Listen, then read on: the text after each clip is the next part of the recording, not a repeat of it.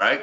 So you cannot steer a person towards or away from using one of the seven protected classes as your compass. Now, here's the one that really bites my butt. And I'm here to tell you now, me personally believe that when we talk about fair housing and you have a couple questions, we all know the warm and fuzzy and what is right and what is correct. But we literally practice differently. All right. There is a girl on the west side of Indianapolis named Donna Seacat. She is Hispanic. All of her signs are in the Spanish language. All right. Because she is helping an underutilized, what they call emerging market. The Indian culture, the Burmese, and the Hispanic right now are what a lot of lenders and agents are calling the emerging markets. And we all understand that she is helping them. But literally based upon this rule right here, there is no way to not violate this rule. All right. Literally, I hang out with older, white, male, well to do cigar smokers. Why do you think that is? because that's what I am. All right, that's what I am. We all tend to hang out in a group that we are comfortable with. When I went to Germany to visit my brother, we saw this. We're eating in the all these German restaurants, and one day we saw the sign. It said American hamburger. So, oh, we got to go there because we're.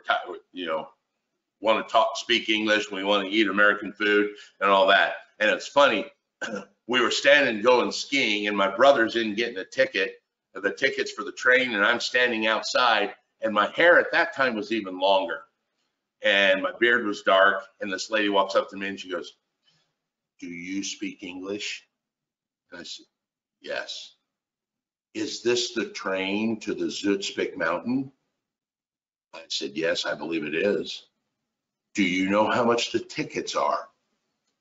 Uh, I don't know. My brother's in buying the tickets. I'm just out here. You speak very good English. How long have you been speaking English? said 25 years. I'm from friggin' Indiana. She's like, oh, I'm from Texas. We're neighbors. So, yeah, people tend to hang around people that they are similar or alike because we have a lot of the same qualities. We actually have a degree called target marketing. We talk about target marketing. But when you do it in a housing situation, this rule right here is going to show you there is no way to not violate this rule. All right. Let me read you a paragraph out of this page. Um, the selective use of media, whether by language or geography, may have a discriminatory impact. For instance, advertising property only in a Korean language newspaper tends to discriminate against non-Koreans. Well, first of all, duh, right? So what's the official language of the United States? Anybody? English. Going once? Going twice? There is no official language of the United States. No. Never was adopted to be English. It just so happens that the predominant number of people that were here that created this society spoke English. But our forefathers talked about the melting pot and they understood that we wanted to mix all of the races and come together as one. So they never adopted English as the official language of the United States. So here's the problem. It literally tells you the example. So Donna Seacat's signs that are in Spanish, if you don't speak Spanish, you can't read any of her posters, her signs, her ads in the La Ola magazine. That, by definition, I just read it to you, is a discriminatory act. So here's the question. Let's make that one more evolution. Are there people in the United States that don't speak English? Yes. So if I put my for sale sign in the yard that is in English, is it in fact discriminating against the ones that don't speak English? Based on what this rule just says, yes, it is. So theoretically, you would have to advertise in every language to not violate this rule. There is no way that you cannot not violate that rule. The simple fact, even if you put it in English, by definition, English is not the uh, standard language. Somebody may not be able to read it, and that by uh, Fair Housing Act rules is discrimination. So like, why is that a, so like, why is that a rule then? Like, why is that even in here? Okay. And this goes back to, I guess, what I was trying to start to say earlier. We all understand the warm and fuzzy of it to try and make sure we don't eliminate a person. And we know what should be the correct answer. But the reality is we do something completely different. It's not that I would not hang out with 14 year old Asian girls. They wouldn't hang out with me, and I'd probably get arrested if I did. But the fact is, we have nothing in common, so I wouldn't hang out with them. We tend to all gravitate towards our own kind of group, whether it's financially, uh, you know, socially, uh, by age. So, like I said, we all understand what Donna Seacat's doing. I am commending her for helping an emerging market. I don't know anybody that probably would report her, but basically, based on what it says here, you can't do that. So there's got to be some rule that kind of sets a guideline, Jamon. And I don't know, and that's why I said this is this one kind of bothers me. Look at that chart. Let me show you another one to further emphasize. That chart on the column all the way to the right, it says not permitted, right? Then look at the row all the way at the bottom. Illustrations showing only individuals in ethnic dress, African American families, or only white adults. That's a violation. There was a builder in Boston who built homes in the city of Boston. He had a billboard and he hired a model family. And this model family happened to be black on his billboard, talking about, hey, being home and things like that. The ACLU sued him for $2.8 million because his advertisement inferred that only black people lived in the inner city. And they won. And he went out of business simply because he showed only one ethnic group on this billboard. Have you guys noticed, literally, have you noticed commercials lately? Have you noticed the number of interracial marriages on commercials or same sex couples on commercials? Because the fair housing says you cannot show just one group. By definition, you are inferring. Chase uh, used to be Bank One, now it's Chase. Chase Bank is the best at this if you ever go into a Chase Bank, go into it look at the posters they got on the wall. There are two things I will guarantee you. In those posters about checking accounts and things like that, there is never a white male in any of them.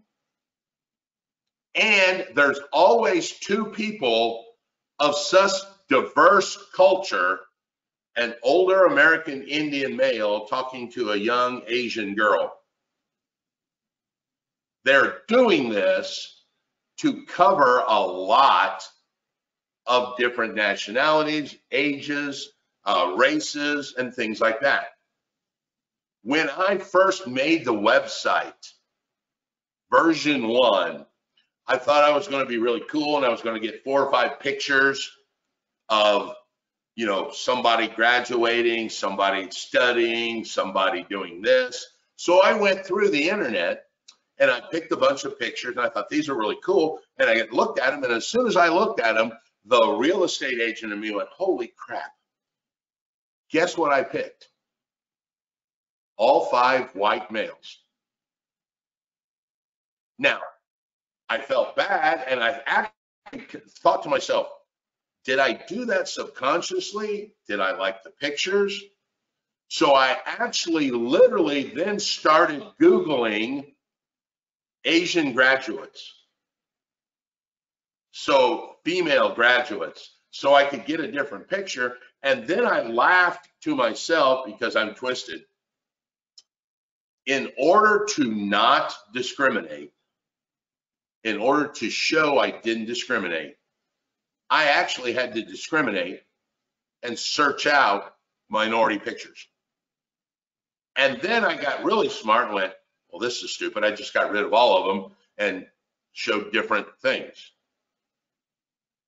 So the fact is I was, I, I in, inherently I did, whether it was on accident or on purpose, but then I had to actually discriminate to prove I didn't because I actually had to search out specific nationalities and ages and races and religions to make sure that I didn't fall in this trap of only advertising certain ages, groups, and religions. But I know inherently that I am not, by definition, a racist. Actually, I tell everybody I'm an intelligentist.